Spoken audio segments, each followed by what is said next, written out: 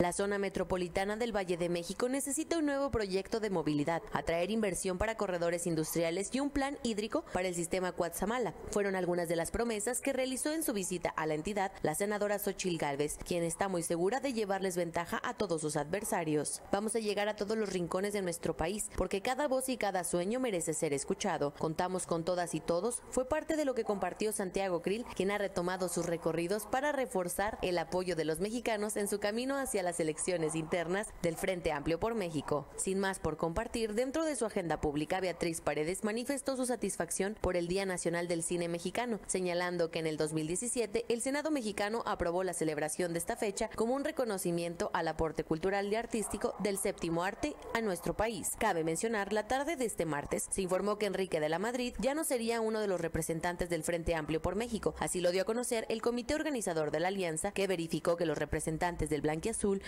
y Krill, así como la priista Beatriz, encabezan las encuestas y continuarán en el siguiente etapa de este proceso, informó para Enlace 13 Montserrat Rodarte.